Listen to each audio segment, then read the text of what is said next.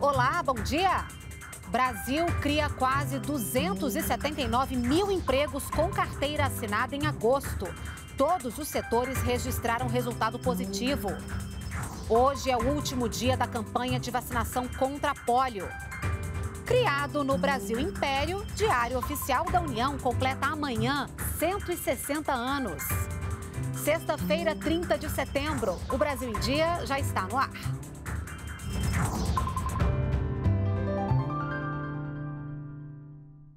8 horas da manhã, estamos ao vivo também pelas redes sociais. Termina hoje a campanha nacional contra pólio e também de multivacinação em crianças e adolescentes. O repórter Glauco de Queiroz traz ao vivo para a gente as informações. Oi, Glauco, bom dia. Olá, Renata. Bom dia para você e bom dia a todos. É isso mesmo, né? Ainda dá tempo para os pais ou responsáveis levarem as crianças menores de 5 anos para receberem a vacina contra a poliomielite, né? De qualquer forma, quem não conseguir fazer isso, né, pode é, fazer em outro momento, né? Já que essa vacina fica disponível gratuitamente ao longo do ano nos postos de saúde, né? Vacina que é muito importante para evitar a reintrodução do vírus da polio no país. Segundo o Ministério da Saúde, até aqui foi atingido atingida 54% da meta de cobertura vacinal contra a poliomielite. Lembrando que a campanha também tem o objetivo de reduzir né, o número de não vacinados entre os menores de 15 anos contra doenças como o sarampo, a hepatite A e B e também a febre amarela. Né? Ontem, em entrevista ao programa Voz do Brasil, o ministro da Saúde, Marcelo Queiroga, disse que a campanha foi ampliada para aumentar a cobertura vacinal de crianças e adolescentes. Vamos assistir. Nossa campanha começou no dia 7 de agosto. Inicialmente, essa campanha se estenderia até o dia 9 de setembro. Nós ampliamos a campanha até o dia 30 de setembro, ou seja, pai, mãe, avós, levem seus filhos para a sala é, de vacinação, mas essas vacinas estão disponíveis o ano inteiro, independente de ter campanha ou não. A meta é vacinar 95% dessas 15 milhões de crianças. Com a queda no número de casos e mortes pela Covid-19 no Brasil, a Anvisa flexibilizou as regras de embarque, desembarque e transporte de viajantes em navios de cruzeiro. Agora, as embarcações vão poder levar a capacidade máxima de passageiros. Para embarcar, é necessário apresentar comprovante de vacinação ou teste negativo para a Covid-19. O uso de máscaras só continua obrigatório em situações específicas, como em caso de pessoas que tiveram contato com quem suspeita que está doente ou confirmou ter o vírus. E termina hoje o prazo de envio do Imposto Territorial Rural de 2022. Quem não entregar a declaração está sujeito a multa de 1% sobre o valor total. Até essa quarta-feira, mais de 5 milhões 250 mil contribuintes já tinham enviado a declaração do ITR à Receita Federal, que espera receber cerca de 6 milhões até o fim do dia. Essa prestação de contas é obrigatória para todos os proprietários de imóveis rurais.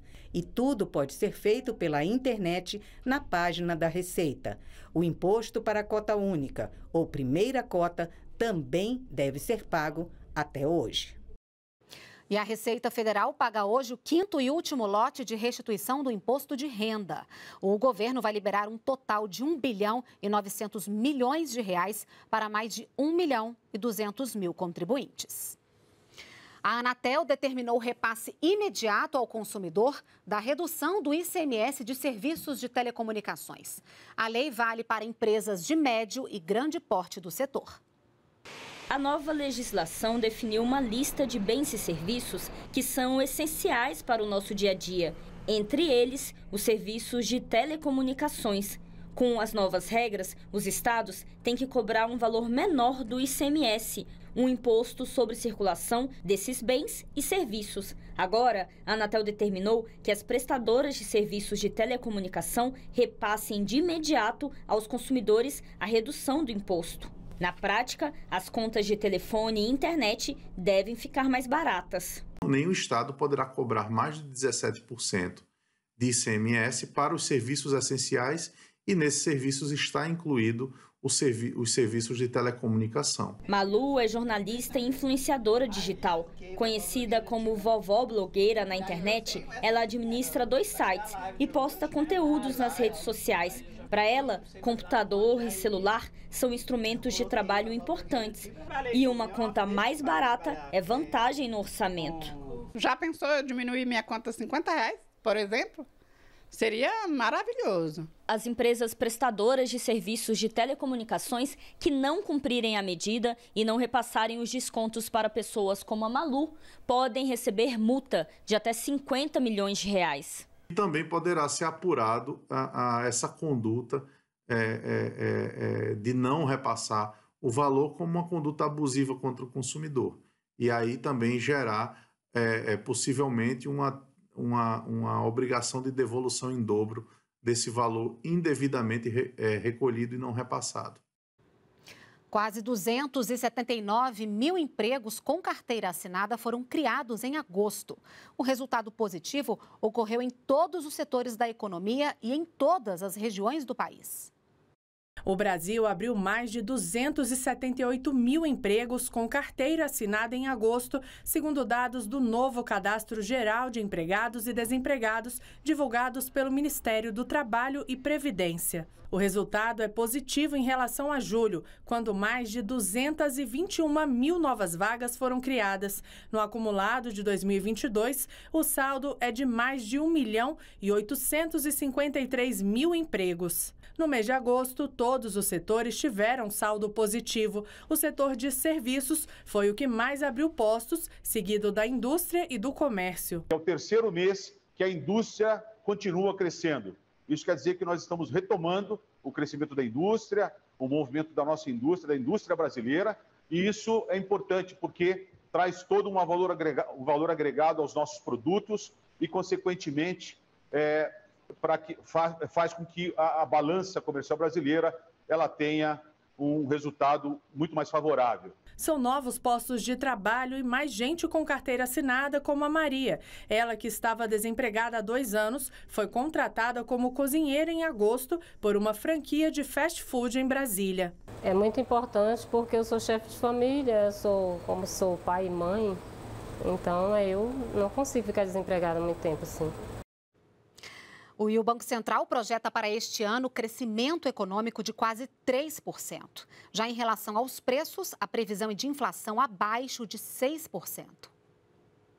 O documento aponta um aumento do produto interno bruto, o PIB, de 1,7% para 2,7% neste ano.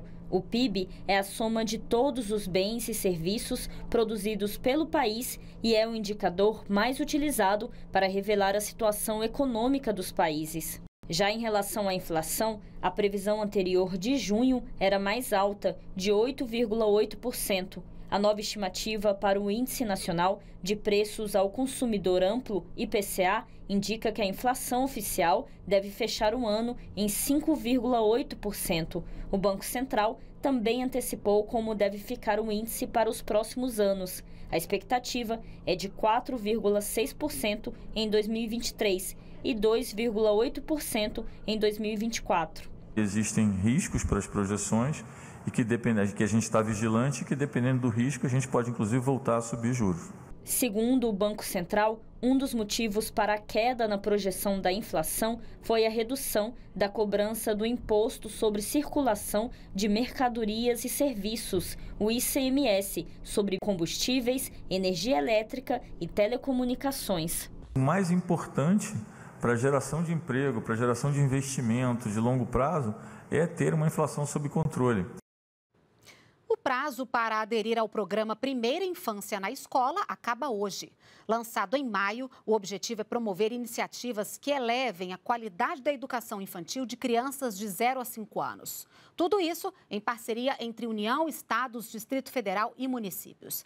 A adesão ao programa é voluntária e deve ser feita pelas secretarias de educação no site que aparece aí na sua tela. E estão abertas as inscrições para a Olimpíada do Bicentenário da Independência do Brasil. Estudantes de escolas públicas e particulares podem participar de graça. O próprio aluno pode se inscrever diretamente, sem a necessidade de que a escola se inscreva. As questões da Olimpíada vão abranger temas como literatura, pintura, matemática, história, geografia, geopolítica e música. As inscrições podem ser feitas pelo site olimpiadabrasil.org e vão até o dia 9 de outubro. Termina amanhã no Rio de Janeiro o segundo Festival Nacional de Matemática. O encontro reúne estudantes e pesquisadores em atividades que mostram que a disciplina pode ser mais acessível e divertida. Quem disse que uma bicicleta precisa de rodas para se movimentar?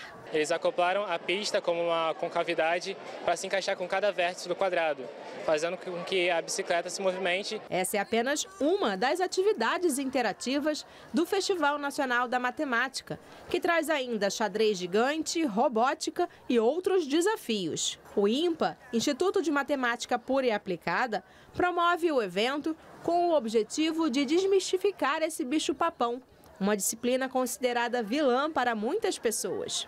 Ao todo, 8 mil alunos de 179 escolas devem visitar o evento, que está na segunda edição.